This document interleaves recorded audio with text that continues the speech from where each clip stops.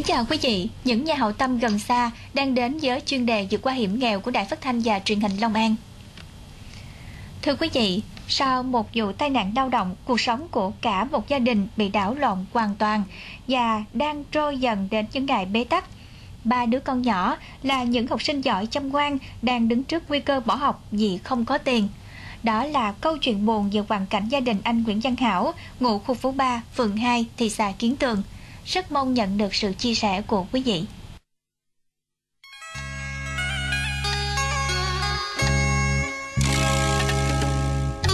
Gia đình anh Hảo đang sống tạm trên phần đất của nhà nước dành cho những gia đình khó khăn ở tạm.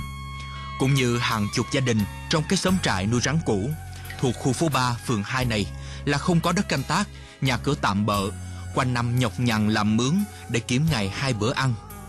Giữa cây nghề thợ hồ, mười mấy năm qua, anh Hảo đã nuôi sống cả gia đình, gồm vợ và ba con. Biết gia cảnh nghèo, các con anh đã cố gắng học giỏi, nuôi dưỡng ước mơ thoát nghèo bằng con đường học vấn. Con trai lớn của anh là Nguyễn Chí Tâm, học sinh trường Trung học phổ thông Kiến Tường. 11 năm liền đều là học sinh giỏi. Nguyễn Thị Thanh Nga học lớp 8, Nguyễn Chí Dương học lớp 6 cũng giống như anh mình. Bao nhiêu năm đến trường là bấy nhiêu năm giành danh hiệu học sinh giỏi. Nhìn thấy các con anh từng ngày lớn lên chăm ngoan học giỏi, ai nấy cũng vui mừng và tin tưởng rằng tương lai sau này của gia đình sẽ sáng sủa hơn nhờ vào các con. Tuy nhiên, vào một ngày cách nay hơn 5 tháng, trong một hôm làm hồ, anh bị điện giật, té từ trên cao xuống bị chấn thương cột sống cổ, dập tủy, phải nằm một chỗ trong suốt thời gian dài. Gia đình đã chạy dại, vay mượn khắp nơi để điều trị cho anh.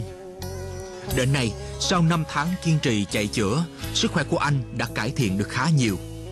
Có thể cử động được tay chân nhưng vẫn còn rất yếu, cần phải duy trì thuốc thang, tập luyện liên tục mới có cơ may bình phục. Bây giờ mỗi tháng cần tối thiểu 5 triệu đồng để uống thuốc và tập dược lý trị liệu. Một số tiền đã vượt ra tầm cố gắng từ công việc làm của vợ anh là chị Trần Thị Kim Loan. Nếu như không được uống thuốc đúng, đầy đủ thì tay chân anh bị co giật, đau nhức triền miên. Chị Loan vô cùng lo lắng, nhưng không biết phải làm sao. sợ ông xã em không bình phục được thì một mình em lao động thiếu tiền, không lo cho con em ăn học được rồi em buồn vậy. Nhưng mà em cũng ráng à, để làm, kiếm tiền để lo cho con ăn học. Nhưng sau này con em đồng ý nhưng mà em không có cho. Em nói con ơi, cứ học đi, tới đâu tính tới đó.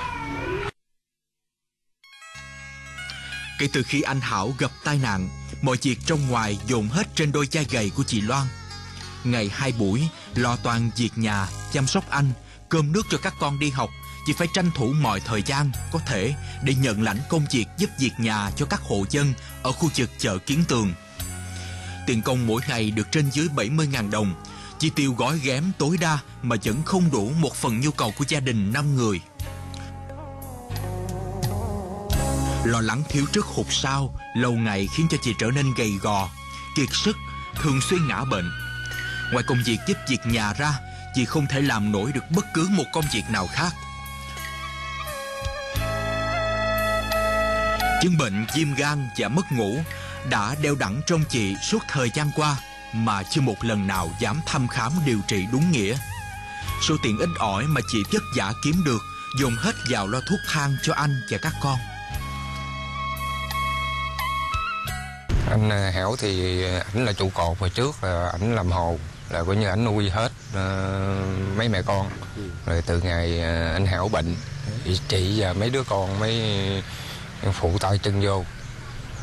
Chị thì uh, đi làm năm ba ngày là mà lên mà xuống ngày hai ngày. Thành ra sức khỏe thì rất kém mà không có tiền khám bệnh. Thành ra phải đi hút thuốc nam uống đỡ cho nó qua ngày qua qua bữa. Mấy đứa cháu thì rất ngoan hiền. À, thường mấy ngày nghỉ lấy số về bán phụ cha phụ mẹ. À, anh em thì thay phiên à, anh bán giấc trưa thì em bán giấc chiều coi như thay phiên ba anh em. Nếu mà không có sự giúp đỡ của uh, cấp trên thì hoàn cảnh của anh ba chị ba rất là khó khăn. Không đành lòng thấy mẹ ngày ngày dắt kiệt sức để lo cho cả gia đình. Chi Tâm, đứa con trai lớn học lớp 11, Nhiều lần xin mẹ nghỉ học để phụ mẹ lo cho cha và các em. Nhưng chị Loan không đành lòng. Bởi chị nghĩ rằng chấm dứt việc học nửa chừng cũng đồng nghĩa tương lai đổi đời của em cũng sẽ khép lại. Chị cho biết, ngày nào chị còn hơi thở thì vẫn cố gắng cho em đến trường. Vì cuộc đời của cha mẹ chúng đã rất khổ vì nghèo, không được học hành rồi. Thấy nhà vậy mà mình thằng lớn trong nhà mà không giúp được gì thì nó cũng sao sao. Nhưng muốn nghỉ đi học giúp mẹ mà mẹ không cho. Cái mẹ nói ừ, mày mày, mày phải đi học thì mày mới uh, mới làm cho cha mẹ mày hết nghèo được. Tại cha mẹ mày cho mày đi học là à, để cho mày tương lai mày sáng lạng chứ không phải là cho mày đi học. Đấy bây giờ mày nghỉ để mày giúp cha mẹ. Ngày hè thì tụi con ở nhà, cái mẹ con lấy số thiếu cho mấy con đi bán đi bán một chập tối vậy. Cái còn bao nhiêu thì để hôm sau đi bán. Có, bữa bán thì trong hè thì ở trong mùa mưa thì nó, bữa thì hồi thì nó nắng thì không nói, còn bữa mưa thì phải chạy chạy tấp cho hết số tiền con bán được thì về đưa cho mẹ con bỏ ống để hết hè thì đem ra mua tập sách với đóng tiền học. Hoàn cảnh của anh chị rất là khó khăn. À, đã nghèo nghèo nghèo từ trong bụng mẹ nghèo ra rồi. À, ở trên phần đất này thì nhà này thì là nhà này của đất thì đất của nhà nước. Mà nhà thì cũng được anh em bà con lối sớm rồi. Có một lần sập thì à, chính quyền địa phương cũng vận động và hỗ trợ. Cất lợi nay cũng suy sụp nhiều lắm. Mà ở đây á cái cái, cái quan trọng nhất ở đây là à, ba đứa con à, trong tuổi ăn tuổi học mà đặc biệt các cháu học rất là giỏi. À, thứ hai nữa là một mình chị thôi giờ thì phải gánh giác hết từ cái chuyện các chi phí trong nhà lại là thuốc men của ảnh nữa. Thì có 50 ngàn một ngày. Thì nói chung cuộc sống thì bây giờ chỉ lây lất chỉ qua ngày thôi. Còn tất cả các ăn uống thì được các chị tiểu thương ở ngoài chợ cho rau cho cải rồi hàng xóm là hỗ trợ thêm. Chính quyền địa phương cũng có đã hỗ trợ rồi. nhưng nhưng mà dưới cái mức này thì chỉ sống qua ngày thôi. Chứ còn cái ăn cái học của cha tụi cháu nó rất là gặp bấp bên ờ, nếu à, không có cái cái, cái cái cái cái ý chí sáng hơn nữa thì không nhờ được cộng đồng bà con thì chắc có lẽ nguy cơ ba cháu nha ra bỏ học. Ý thức được hoàn cảnh khó khăn của gia đình ba anh em chí tâm sau giờ học đi thẳng một đường về nhà thay mẹ chăm sóc cha những lúc được nghỉ học ở trường, ba anh em thay nhau đi bán vé số kiếm thêm thu nhập. Nhìn thấy sức khỏe của cha có tiến triển tốt, Giờ có thể tập đi lại được. Ba anh em rất mừng, Nhưng cũng vô cùng lo lắng, Vì mẹ đã cố gắng lắm rồi Mà vẫn không đủ tiền mua thuốc cho cha. Không được uống thuốc đầy đủ, Sắp tới cha sẽ ra sao? Nếu anh Hảo không được hồi phục sức khỏe, Thì dù có cố gắng đến mấy, Có lẽ chị Loan khó có thể một mình lo liệu được con đường học tập của anh em Chí Tâm Đang đứng trước nguy cơ chấm dứt giữa chừng Bất cứ lúc nào Mọi sự giúp đỡ của quý vị cho gia đình anh Hảo, xin quý vị gửi về Hội chữ thập đỏ tỉnh Long An, số 3, đường Võ Công toàn phường 1, thành phố Tân An. Điện thoại 0723 822 529. Quý vị có thể liên hệ trực tiếp gia đình anh Hảo qua địa chỉ khu phố 3, phường 2, thị xã Kiến Tường. Xin cảm ơn.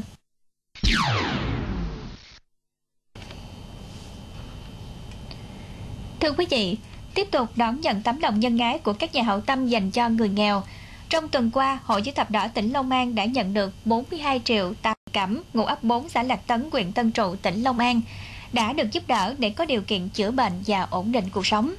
Thay mặt cho gia đình bà Quỳnh Thị Cẩm, chúng tôi chân thành cảm ơn sự giúp đỡ vô cùng quý báu này. Tuần qua chúng tôi cũng tiếp tục nhận được sự ủng hộ của các nhà hảo tâm cho các gia đình mà chúng tôi phát sóng trước đó ủng hộ gia đình anh Trần Văn Dĩnh ngụ ấp Bình Quà, xã Đức Tân, huyện Tân Trụ, số tiền 4 triệu 800 ngàn đồng. Danh sách ủng hộ Quỳnh Thị Cẩm, xã Lạc Tấn, huyện Tân Trụ, tỉnh Long An phát sóng ngày 6 tháng 1 năm 2016. Thầy An Lộc và Phật tử chùa Kim Cang 300.000 đồng, ni sư Tắc Đức chùa Tôn Dân, ni sư An Quệ chùa Phật Quệ 100.000 đồng, Tạ Tố Nguyên 100.000 đồng, năm bé Xuân Thư Ngọc hiện tại 400.000 đồng, gia đình ông Lương Minh Đáng 2 triệu đồng. Trần Thị Bận cầm đồ 114 Chành Cường Quyên Pizza Thanh Sang gà rán Hàn Quốc 248 Hùng Dương 400.000 đồng. Anh Hùng Phân ga Thùy Vũ bán ngang Thu Tuyền 300.000 đồng. Ông quá cố Võ văn cai 100.000 đồng, hai bé Mai Duyên Thành Đạt Quang Vinh 100.000 đồng. Phần tử tịnh xá Ngọc Minh, gia đình chị Thẩm 400.000 đồng, cô Nhung với Thanh Minh Đăng 300.000 đồng. Kho thuốc tiếp liệu cám Rinfix 190.000 đồng, Nguyễn Văn Hai 200.000 đồng, nhóm từ thiện nhân ái 100.000 đồng, Quỳnh Quang Mực Trần Thị Mỹ Trân 500.000 đồng. Bùi Cao Sơn 500.000 đồng, Nguyễn Thị Kiều, Phụ Tùng, Honda Quỳnh Mai, Nguyễn Thị B 300.000 đồng, bà Năm cô thích Kim Ngân, Thúy Hằng, cô Bai 250.000 đồng, ông quá cố Quỳnh Văn Mịnh 250.000 đồng, Bùi Thị Đẹp, Nguyễn Hoàng On 200.000 đồng, tiệm giải Kim Hoa, tiệm bánh Chánh Long Chị Lan 300.000 đồng. Chú Tím Ba Năng, bé SEA Games, bé Bon Ngọc Huyền 400.000 đồng, đại lý giá số Ba Xuyên, tiệm vàng Kim Tuyền 1 triệu đồng, Cộng Minh, Cầu Tâm 200.000 đồng, Úc Dân, ông quá cố Lương Văn Hạnh 200.000 đồng. Ông Nguyễn Văn Đoàn, cô Thúy, chị bé Thọ 150.000 đồng, nhóm từ thiện chợ phường 6 500.000 đồng, nhóm từ thiện Nhân Thành Trung 550.000 đồng, nhóm từ thiện ấp 4 Lạc Tấn 250.000 đồng, Thái Bình Thế Dân, Nguyễn Kinh Luân 150.000 đồng, Ban hành thiện Thánh thất Cao Đại Nông nghiệp 950.000 đồng, Nguyễn Văn Của, Nguyễn Văn Nhuận 400.000 đồng, bạn xem đại Bến Lức 300.000 đồng, công ty Mai Đăng Khoa 400.000 đồng, lò meo năm thật 600.000 đồng, Hội Thánh Router và môi xe 500.000 đồng. Quỳnh Thị Hiếu, Nguyễn Ngọc Trân, Kim Cúc 300.000 đồng, máy nổ phát huy 250.000 đồng. Anh Đông, công ty Đại Dương 1 triệu đồng, thùng từ thiện chợ Rạch Kiến 500.000 đồng, gia đình anh Châu Văn Đỏ 200.000 đồng. Nguyễn Lê An, anh Nguyên, gia đình đoàn tựu, Trương Công Chí Trai 400.000 đồng. Thanh Thủy, Thanh Trúc, Thanh Sơn 220.000 đồng, thùng từ thiện ngã ba quê Mỹ Thạnh 100.000 đồng, cháo lòng cây me 200.000 đồng. Bà Hồ Thị Ba, Ngọc Hà, Ngọc Phi, Duy Tân, Khánh Tiên, Phương Liên 800.000 đồng. Bà Hồ Thị Mỹ Lệ 100.000 đồng, bà Lê Thị Tần, Lê Thành Phương, dựa gạo 8 trang 500.000 đồng. Ông Tám Nhu 50.000 đồng, Phật tử chùa Linh Phát 300.000 đồng. Bình Sủng, Liên dựa cá Dàm Láng 400.000 đồng, tập thể công nhân chuyện 2 S5, công ty Trinh Lu 300.000 đồng, anh Úc Lạc Tấn 200.000 đồng, công ty trách nhiệm hữu hạn một thành viên khai cư Nguyễn Văn Hùng, Nguyễn Văn Trường 600.000 đồng, gia đình Phát Tuyên 150.000 đồng, dưỡng sinh bà Năm Mắm, gia đình họ Trương cô dân 1 triệu 150.000 đồng, Trúc Linh Khánh Linh, ông bà nội Gia Bảo Gia Minh 400.000 đồng, Lâm Dung Trương Thị Mỹ 200.000 đồng, Ngọc Châu Ngọc Nga 100.000 đồng, gia đình anh Hùng Nam Cường 500.000 đồng, Phật tử chùa Kim Cang Kim Quê Úc Đức 200.000 đồng, gia đình Úc My chị My 200.000 đồng, chi hội phụ nữ ấp 2 Đạt Tấn 125.000 đồng, Quỳnh Văn Lập 150.000 đồng, anh Vinh 500.000 đồng, ông bà nội Quốc Thảo, bà nội Kim Yên 150.000 đồng, anh Công Đạt 250.000 đồng, chị Quỳnh Kim Ngân 125.000 đồng, bé Dân Anh Như Anh Trương Văn Khanh 200.000 đồng, ngân hàng Sacombank chi nhánh giảm Cỏ 20 kg gạo.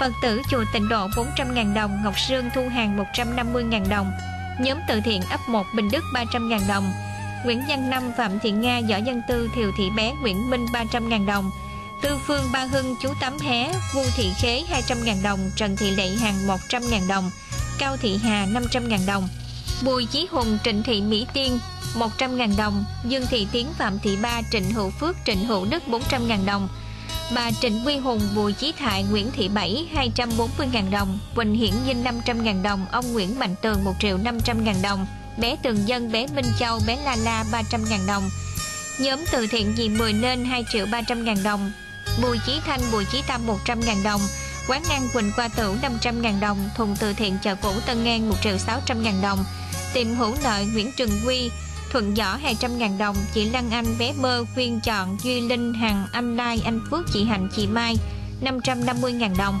Tiết mục thông tin nhân đạo đã khép lại chuyên đề vượt qua hiểm nghèo ở đây. Cảm ơn quý vị đã dành thời gian quan tâm theo dõi.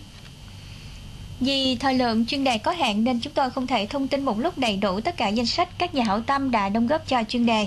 Danh sách còn lại chúng tôi sẽ tiếp tục thông tin vào chuyên đề vượt qua hiểm nghèo phát lại vào chiều ngày thứ hai 14 giờ 35 phút ngày 18 tháng 1 năm 2016. Mong quý vị thông cảm và tiếp tục ủng hộ cho chương trình. Mọi sự đóng góp xin gửi về Hội chữ thập đỏ tỉnh Long An số 3 Võ Công Tồn, phường 1 thành phố Tân An tỉnh Long An. Điện thoại tiếp nhận số 072 3822 529. Xin chân thành cảm ơn.